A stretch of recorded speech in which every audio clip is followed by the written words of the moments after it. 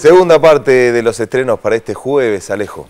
Una segunda parte que empieza con una comedia y con una comedia con dos protagonistas realmente muy atractivos como son Vince Vaughn y Owen Wilson. Ellos ya además compartieron película en Los Rompebodas en el 2005 que fue bastante entretenida y aquí encaran a dos vendedores, vendedores que pierden su trabajo ante el avance digital que hace que la gente compre todo por internet. ¿Y qué hacen ellos? Se anotan para competir por unas pasantías en Google, que es algo así como la tierra prometida para miles de jóvenes que saben mucho más de computación que ellos y que además son mucho más jóvenes que ellos. Realmente son la mosca en la sopa y eso es lo que hace que uno se pueda entretener durante 90 minutos.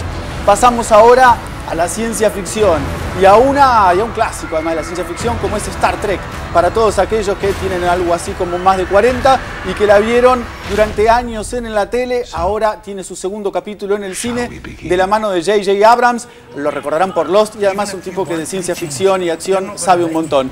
Por otro lado, vuelve Ken Loach, gran director británico, en este caso con la parte de Los Ángeles. Y también tiene que ver con cuatro jóvenes, digo también por aquello que estuvimos hablando de la Cantábrica, en este caso británicos que están recibiendo jóvenes marginales que tuvieron una educación y una juventud un poco áspera y que están recibiendo la oportunidad de recuperarse a través de hacer horas eh, para la comunidad. Interesante la parte de Los Ángeles, estamos viendo ahora una de las películas que más me gustó de esta semana, se llama Causas y Consecuencias y nos remonta a fines de los 70, cuando en Estados Unidos y ante la guerra de Vietnam miles y miles de jóvenes se oponían. Algunos de ellos pasaron a la clandestinidad y empezaron una lucha armada. Lucha armada que los llevó a poner bombas en distintos lugares de los Estados Unidos. Tres de ellos se encontraron con que una de esas bombas, aunque no fue su intención, termina matando a un guardia de seguridad. Ahí hay un corte, 30 años más tarde ellos siguen viviendo clandestinos pero una de ellas, Susan Sarandon, se entrega reviviendo esta historia y haciendo que todos los demás que estaban escondidos vuelvan a estar en peligro.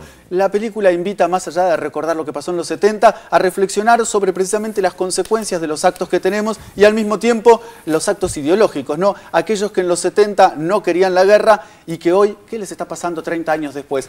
Un seleccionado de actores, no solamente encabezados por Robert Redford, quien además dirige la película, sino que además cuenta con Richard Jenkins, con Chris Cooper, con Susan Sarandon, con Shia LeBeouf, Anna Kendrick, realmente muchísimos actores y actrices, que Julie Christie, que sería difícil verlos en otra película, en causas y consecuencias que además de invitar a la reflexión, es realmente muy, pero muy interesante. Alejo, ¿cuál o cuáles recomendás especialmente para este jueves y ti se lleva cinco Alejandros? Difícil, ¿Eh? Alejandros.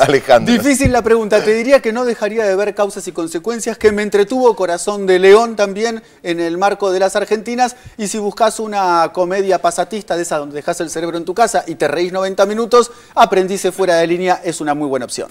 Bien, Alejo, gracias.